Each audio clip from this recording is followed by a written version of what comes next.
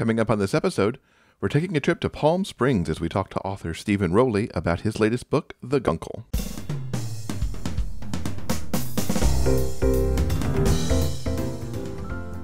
Welcome to episode 316 of the Big Gay Fiction Podcast, the show for avid readers and passionate fans of gay romance fiction.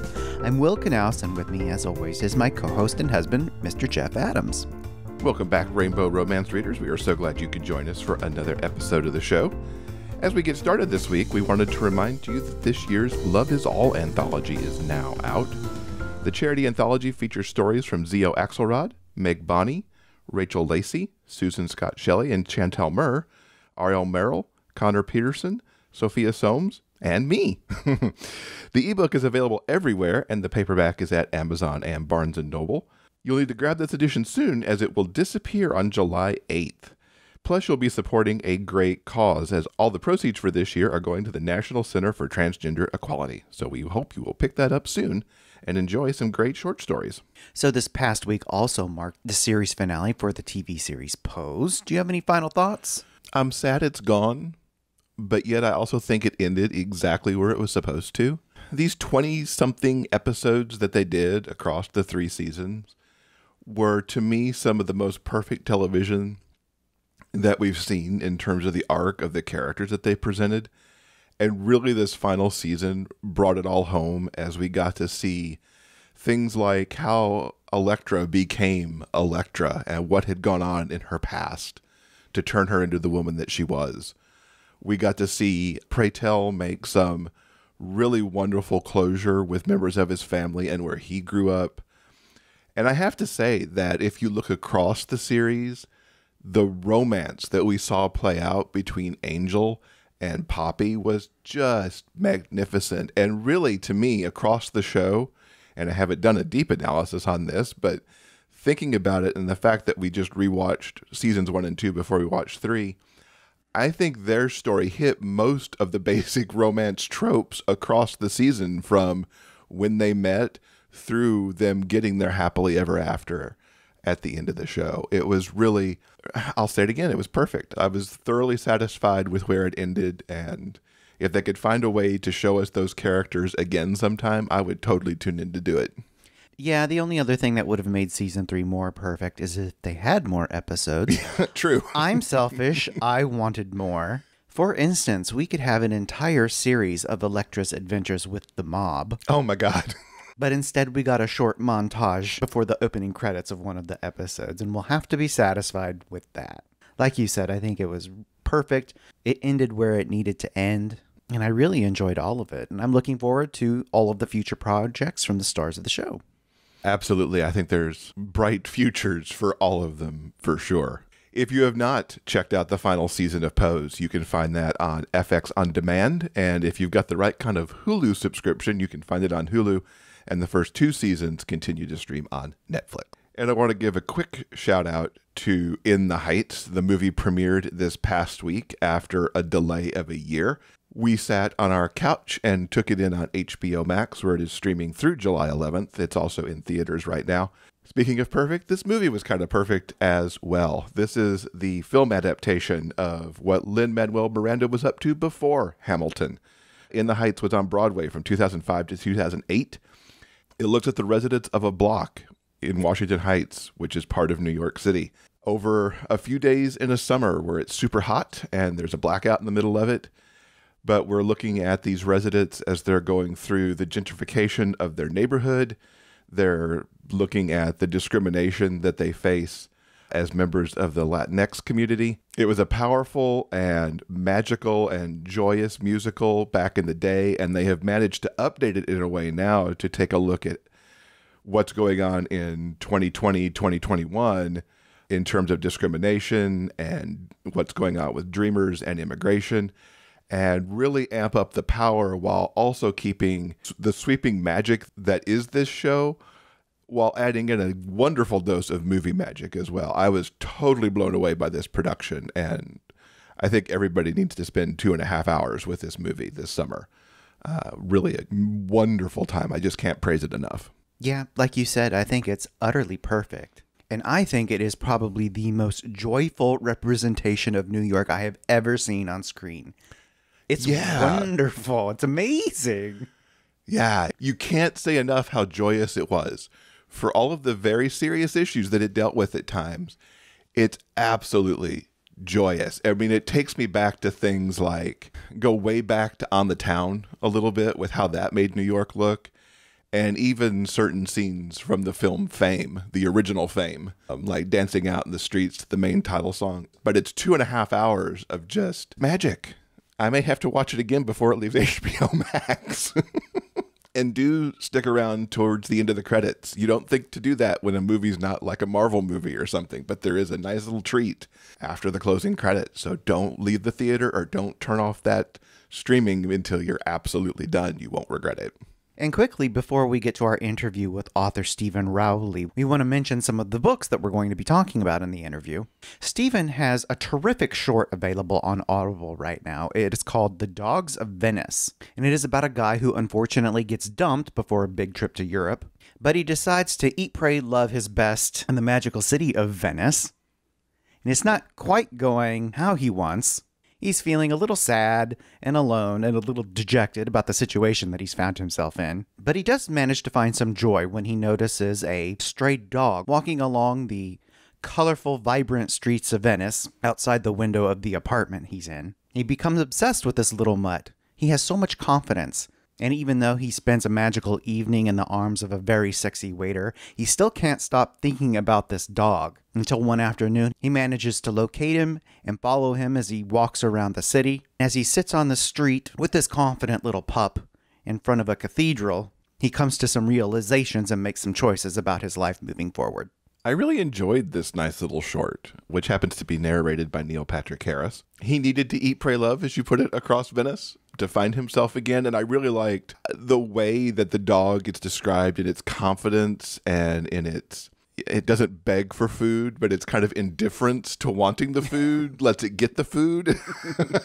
it, it just really puts some nice perspectives on how getting away and focusing on something else, and in this case, the dog, could just give you what you need to be able to essentially reset yourself. Yeah, if you've got an hour this summer, we highly recommend you give it a listen. It's really charming.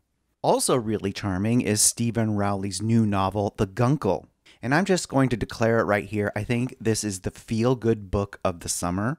I really recommend everyone give it a try. It's a little outside the purview of what we normally talk about here romance fiction. But if you're looking for something just a little bit different and a whole lot of fun, please pick up The Guncle. It's about a guy named Patrick.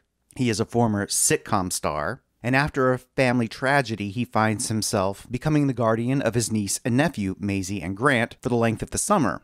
And at first, he feels he's got it completely under control. He can Auntie Mame the shit out of this. no problem whatsoever. He explains the importance of brunch and how his high tech Japanese toilet works.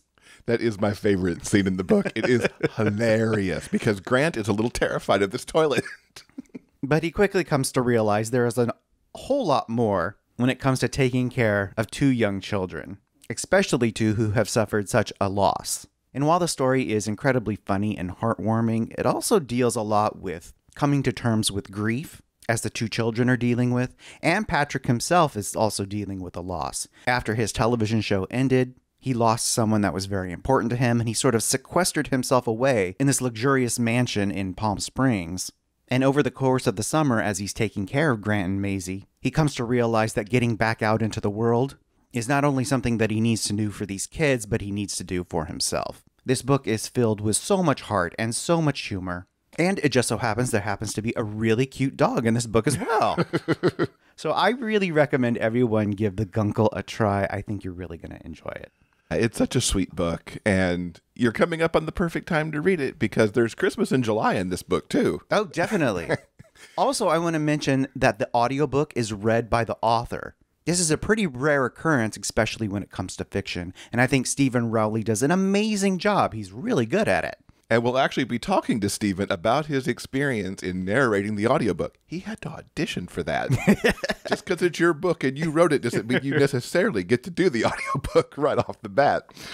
Uh, I had such a good time talking to Steven about this book. You're right. It has so many Auntie Mame influences all over it. And we talk a little bit about that, how he actually balanced the grief versus the humor aspects of it. And it's a really lovely conversation. So let's just get to that. Steven, welcome to the podcast. It is so wonderful to have you here. Thank you so much for having me. Very excited to talk about The Guncle, which has come out recently. If ever there was a cover that screamed "Read me" during the summer, this one would so be it around the pool and the palm tree and everything. I know on a recording you can't always see, yeah, but it is a big ray of yellow sunshine. This book cover, and I couldn't be happier. Please tell everyone what they will find when they pick up the Guncle. Well, yeah, I've been doing press for this book, and I always start with, well, in case any of your listeners don't know what a guncle is, but I don't think we need to start that basic. But you know, I've long had a fascination with Auntie Mame. First, the the Patrick Dennis novel, and then a, a Broadway play, and a movie with Rosalind Russell, and then a Broadway musical with Angela Lansbury, and then a movie musical with a slightly miscast uh, Lucille Ball you know but it sort of got me thinking we're time for a, a, modern day retelling of this. And patrick dennis who created the character was married and, and had children but came out later in his life. He died relatively young but you know was active in the gay scene in greenwich village in the late 60s and early 70s and you know was at least bisexual. And it, it got me thinking about you know sort of writers from the mid-century Tennessee Williams, from who who sort of created these larger than life women, and is that maybe perhaps because they were sort of stand-ins for not being able to openly write about gay men. And so now that times have changed, I thought, oh well, let's put a gay man in the heart of Auntie Mame, where perhaps maybe that's where he was intended to be. That makes total sense. I mean, because there is so much of the Auntie Mame vibe here, some of the adventures they get up to, but also much like that story did, there's also some more heavier issues inside this. Everybody's got a little bit of loss that they're dealing with and coming back from that. Uh, yeah. So Patrick O'Hara is the main character, the title Guncle, and he is a, a, sort of former television star who's retired to Palm Springs and is sort of nursing his wounds after losing his boyfriend years earlier in an automobile crash. And when fresh tragedy strikes, and he's tasked with taking in his niece and nephew for the summer. And, and in doing so, that sort of brings about a season of healing for all three of them. But you're right. I set out to write a light comedic novel. I thought, uh, you know, they were sort of in fashion in the 50s and 60s, and I loved the idea of it. But Mame sent her ward off to boarding school in a way and sort of sidestep having to deal with the grief. And I very much did not want to do that. And, and coincidentally, I lost a best uh, friend of mine from college to breast cancer early on in the writing process, and, and she left behind a six year old son. So it made me think very deeply about grief in children and about what roles that her sort of larger friend community had or could fill in reminding this child how much he was loved because how much would a six year old maybe remember of his mother as he grew older so you know i started thinking about these issues in a much more serious way i do think the book is still very funny i think it's outright the funniest book I've written, but it's also a deep exploration of grief. But it, it doesn't take a gay person to tell you that comedy and tragedy are two sides of the same coin. Exactly. And that's kind of time and again what is in this book. It's like funny, and sometimes it's the funny that trips back into the grief of what these characters have lost. I'm curious from your writing perspective, based on what you just said, that some of these things came as you were writing it. So, from that end, did you go into this thinking, here's my plot for this book, and I'm going to do this? Or are you more of the discovery writer to see how things pan out as you go? Yeah, I'm more of the discovery writer. I, I mean, I, I, had a general sort of sense of what, and this isn't obviously like there's been Mary Poppins, there's Maria from The Sound of Music, there's John Candy's Uncle Buck. There's a genre of this story. So it's in the execution and executing it in a new way. And that's where I wanted to leave room for surprise because I really wanted this to have a fresh voice. It's not just an uncle inheriting his children, it's a guncle. So, what from the queer experience could he offer as his sort of superpower. Mm-hmm. And so the book is infused with the, you know, a pop cultural references, the humor, the empathy, the politics, the sort of worldview that are informed by my life experience as a as an out gay man, you know, sort of all worked its way into this book. And I don't have kids. So it was an interesting exercise to think about what I might have to offer, you know, on the subject of, of child rearing. And that's where there were, you know, a lot of surprises. And and some of the humor comes from Patrick not necessarily knowing how to communicate with children. And, and, yes, that can be funny and there can be miscommunication, but also it's kind of his hidden strength in that he treats them like small adults and, and children can handle oftentimes much more than we give them credit for, particularly on very serious subjects where they don't want to be handled with kid gloves. They don't want things sugar coated for them. And, and they're certainly not from Patrick which I agree is his superpower because he's not going to hide stuff from them that they kind of need to know. He might right. sugarcoat it a little bit, but they're still going to know the situation in the long run. Yeah. Have you played a Guncle role before? You don't have kids of your own, but do you have children in your I, life yeah. that you play that role too? Well, yeah, I'm I'm the Guncle to five, three nephews and two nieces, and, and I do live in Palm Springs, uh, California. So that's one thing I have in common with Patrick. But our senses of humor probably overlap and and some of our references. But you know, Patrick's sort of a sadder clown than I am. I will say though that one thing of, uh, about being a, a Guncle is you know my nieces and nephews are in all in, in the Northeast, and I live out here in California, and I have a swimming pool, and there are palm trees, and I don't go to an office like they see most adults do. I don't think they have quite figured out my life. I seem like a bit of an oddity, a bit outside of the you know step of life. So uh, you know, I guess that they might view me with some of the same skepticism as uh, the kids view Patrick. Now, while you haven't had to have them with you for that long, are there any particular scenes in the book where it's like something you've done with one of your five nieces and nephews that kind of worked its way into the book as one of the the many things and adventures they kind of go on? well, yeah, I don't know, you know, exactly. They've certainly come to visit me here in Palm Springs. Certainly some of the, you know, we must inflate every pool float so that you can't see even an inch of blue water surface uh, on the pool. You know, some of the details like that are, are absolutely from real life. But, the, but it's more sort of like the emotional feeling of, you know, Patrick feeling overwhelmed, you know, the relentless questions that kids ask, the endless why.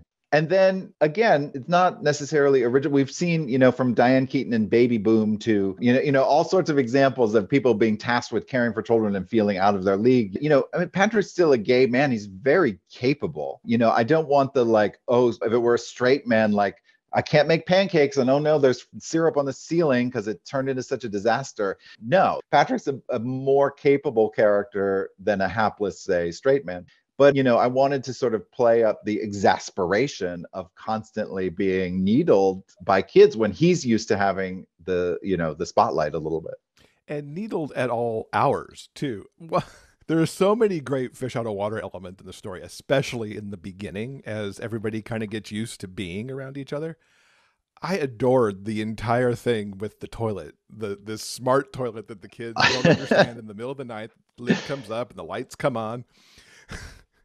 How yeah. did you kind of pick and choose the various situations that these kids and Patrick were going to deal with? That was me sidestepping an issue, which was that kids do love bathroom humor. I always think bathroom humor is, is kind of cheap, that there is a better way, you know, there's a better laugh to be had.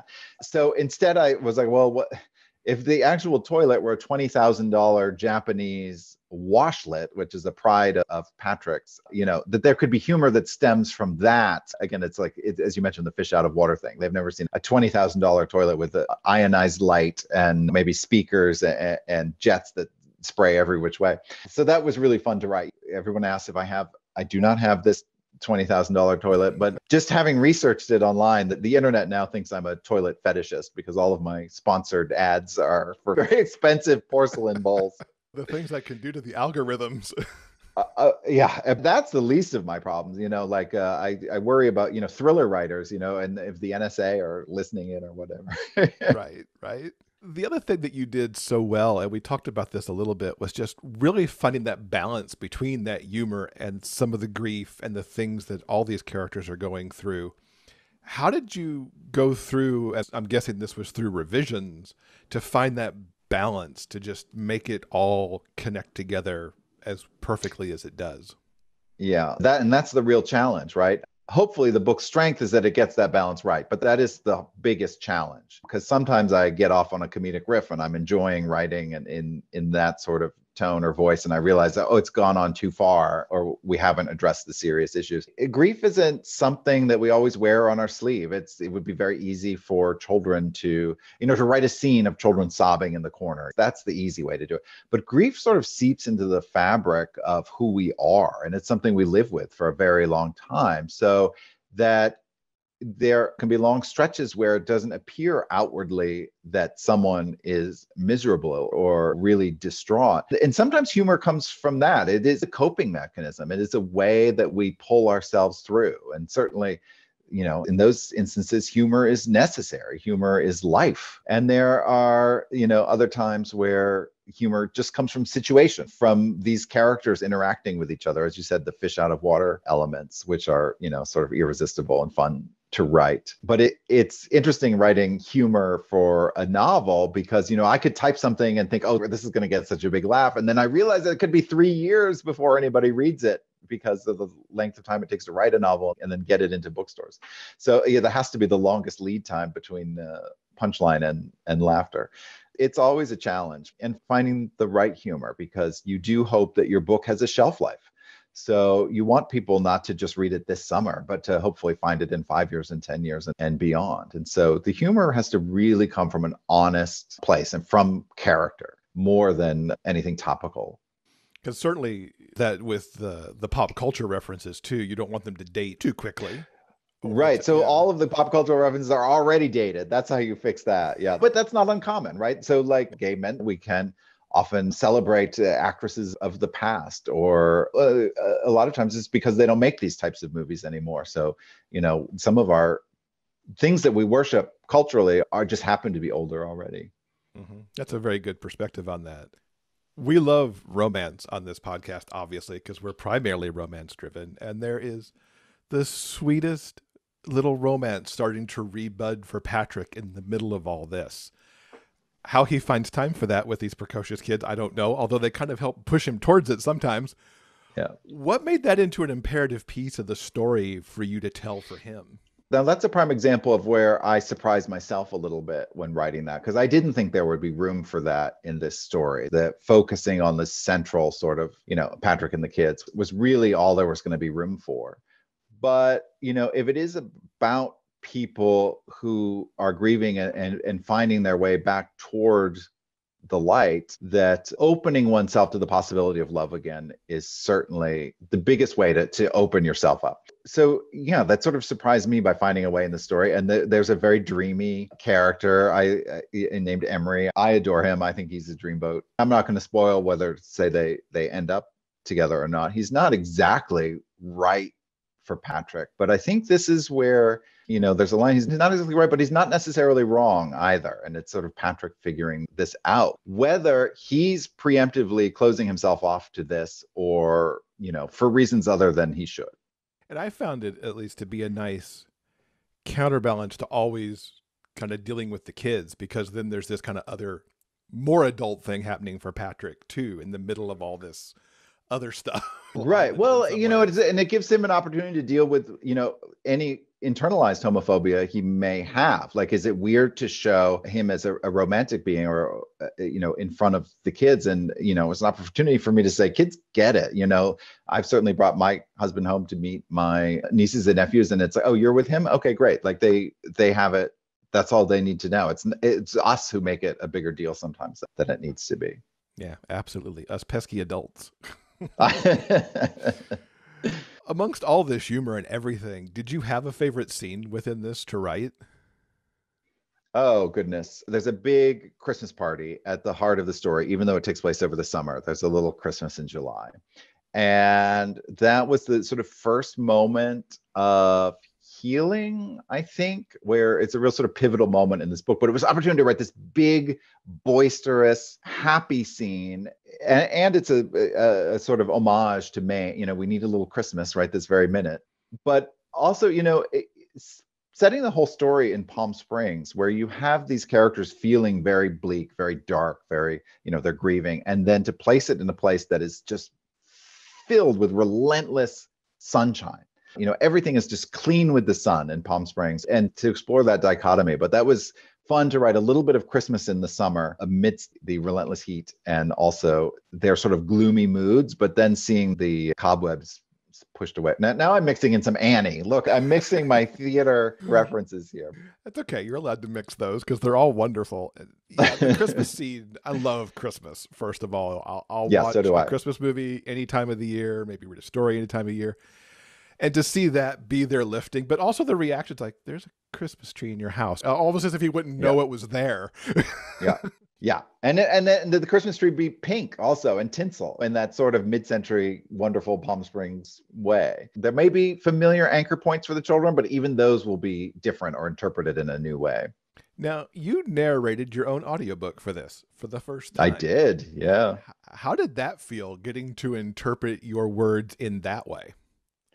It was a really interesting exercise. Writing a book, I, I mentioned it's a solitary occupation, and, and the words exist in your mind and your mind alone for so long until we get to you know this week where it's finally out in the world. But they're yours and exclusively yours for such a long time that it's weird to hear someone else interpret them. And obviously, I have no control over the way a reader reads the book. They may go up when I go down, or you know, in my head or, or whatnot. But it was an interesting opportunity to, okay, I can put out in the world my interpretation of the material. For the record, if anyone is interested, they can buy the audiobook and, and see how it sort of exists in my head. But I'm also very happy to have other people put their spin on it. And Michael Urie, who's a wonderful actor, has narrated my first two audiobooks, my, my first two novels. And uh, I have loved working with him. He's such a gentleman. And, you know, he, we've had conversations about the books before he goes in to record. But it's not always how I hear it in my head, but it shouldn't be. That's his job. You know, an actor should put their interpretation on something. So, yeah, I don't know if one's better than the other or not. We'll see. Hopefully, this wasn't a huge mistake.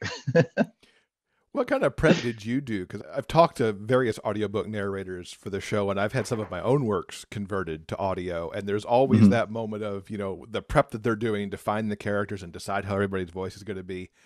What was the process for you to be, you know, Patrick sounds like this, and the kids sound like this, and this is how all of this will kind of come together? Yeah, well, Patrick was going to sound like me because that's just easiest. Uh, that's the bulk of the book, and also, by the way, he's the character closest to me, also. So uh, you know that that was not a stretch. Grant, the boy, the young boy, has a lisp in the book, and and writing it, I wanted to thread just enough of the lisp in there so that the reader would hear it, but I didn't need to punch every single word that would slow down the reading process. And again, it was interesting exercise then as a performer. How much of that do you perform? To where it, it's cute and it distinguishes his voice from anyone else speaking, but also doesn't become annoying. So, you know, I did work with a great director, and thankfully, that is not something. I didn't go into the into a closet and uh, throw some sheets on the wall and, and record it in a vacuum. I was in a studio and there was a sound engineer and a director and a great crew that really helped it happen. I also auditioned to do it. I'm not sure the publisher thought that necessarily the author should be the one to do it, but the whole thing was really fascinating. Do you see yourself returning to the booth for either more of your books or even going off on an audiobook narrating career? I well, I'm not going to give up writing for that. I think an interesting challenge would be to read someone else's. I I don't know. We'll see what books I write in the future. I, I just felt like this was an easy, natural extension. This book of my natural voice. So.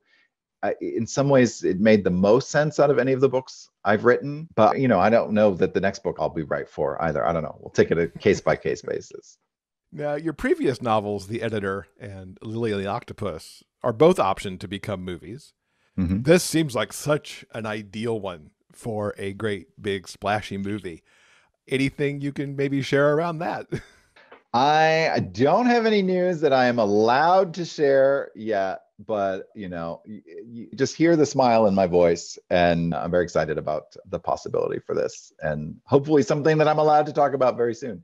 But the other two are indeed making their way to the big screen. COVID slowed things down uh, a little bit, but they're both picking up steam now. I did write the adaptation of The Editor, which was a fun, interesting process. You know, more so than narrating the audiobook, at least reading the audiobook, I'm allowed to keep the entire text. You know, when you adapt a book for the screen, and particularly a book like The Editor that's written in the first person, it's very internal. A lot takes place inside this character's head, you know, and finding ways to to translate that into dialogue and action and things you can see on the screen. That's always a challenge. You have to tear apart your own book and learn how to put it back together in a, a more visual way. I left that to another writer to do for Lily and the Octopus just because that was a very autobiographical book. And I, I don't know. I, I feel like I appreciate that I had my say in the novel, and now it was time to let someone else interpret that. That I wouldn't be the best person to do that. What made the editor one that you wanted to adapt? Again, I think it's as simple as it was. It's less autobiographical. So the the editor is a story about a young writer in early 1990s New York who gets his big break when Jacqueline Onassis buys his first book when she was an editor at Doubleday, which she had this incredible 15 year career as an editor after her second husband died and edited more than 100 titles and, and really prolific sort of third act to her life, which was so exciting. Part of it was that it's just less autobiographical.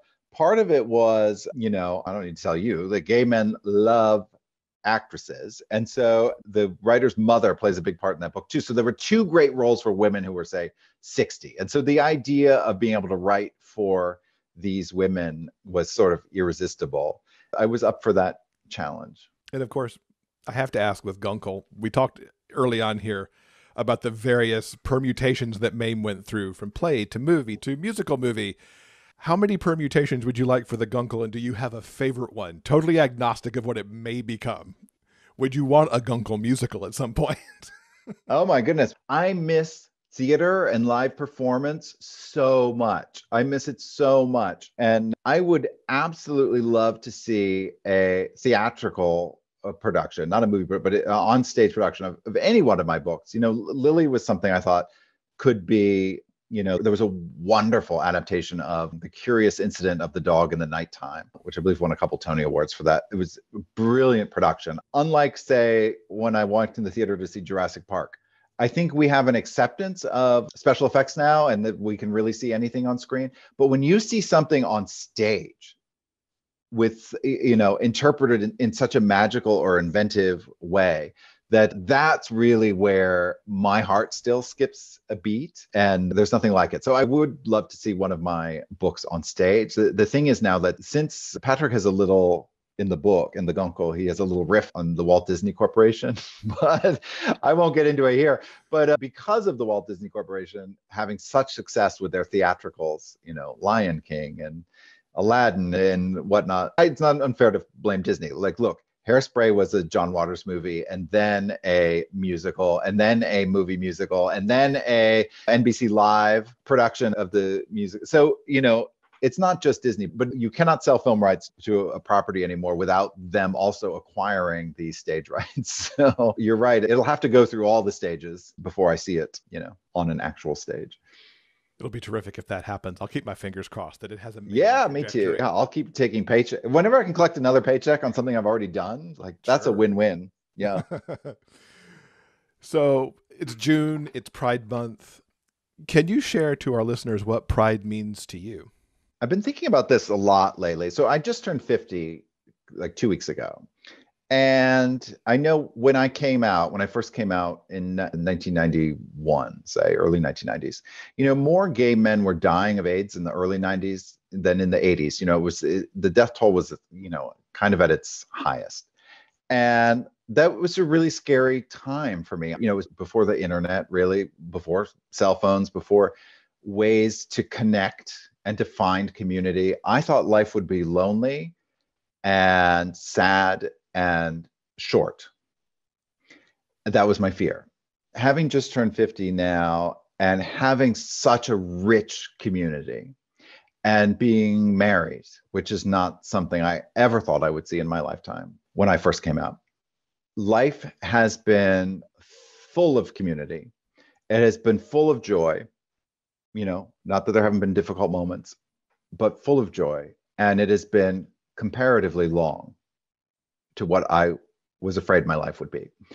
So, you know, pride to me is to honor those people we lost because if I were five or 10, you know, it's just a matter of circumstance. If, if I had been born five or 10 years earlier, I was one who left a, a small rural state and went to the big city and was desperate to find love and feel accepted. You know, I don't know that I'd be here. So it's to honor those that are not still with us and to live life with an openness and honesty and a celebration that they would. Uh, people asked me, you know, was it hard to turn 50 or something? I said, you know, how many people would have traded anything to be able to live to 50? So that's part of it. But it's also because of AIDS, there wasn't a huge visible generation of mentors above me because we lost so many of them. And so it also means to be a mentor, hopefully, and to live as an example for younger people who are coming out today. Thank you so much for sharing that. That was a long winded answer, but it's hopefully honest. and an important one to put out there, too. Yeah. You know, from where things were as you were coming up to where we are now. I'm 52, it, so I'm kind of right there in that same space with you.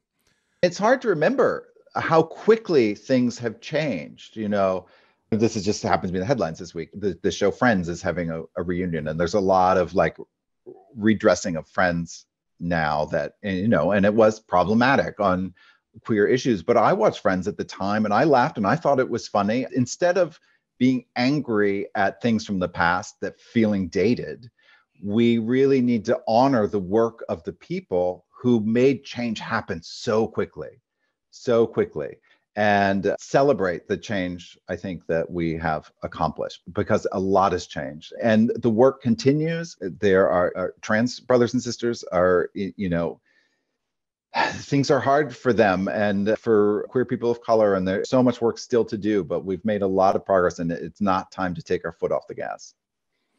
Absolutely.